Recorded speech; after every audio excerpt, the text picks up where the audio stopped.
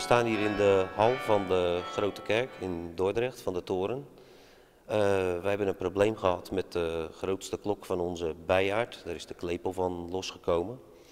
Dat hebben we op een zeer ingenieuze manier uh, kunnen oplossen.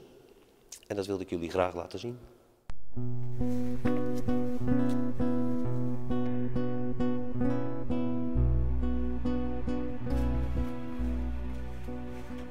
We staan hier op de Kaapstandszolder.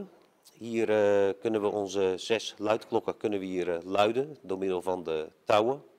Waaronder dus ook uh, die allergrootste klok hier net boven ons.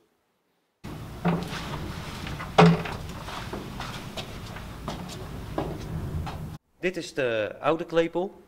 Een behoorlijke zware. Hij heeft een totaalgewicht van circa 350 kilo. Dit is dus uh, de nieuwe klepel. Uh, een hele speciale vorm. En waarom die speciale vorm? Uh, dat is omdat het gewicht van die klepel niet meer mag zijn dan 2% van het gewicht van de totale klok. De klok weegt 10.000 kilo. 2% is dus dat de klepel maximaal 200 kilo mag wegen. Vroeger was deze klepel één stalen bol.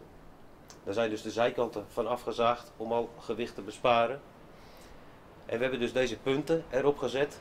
Uit berekeningen is gebleken dat uh, deze klepel uh, na verloop van tijd, na verloop van jaren, uh, scheuren in de klok zou kunnen veroorzaken. Door de enorme klappen, ja, dat zie je wel aan de afmetingen ook.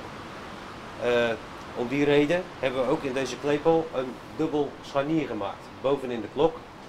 Die dus eigenlijk werkt als een soort schokdemper, die dan dus de grootste klappen kan opvangen en de klok niet zal beschadigen.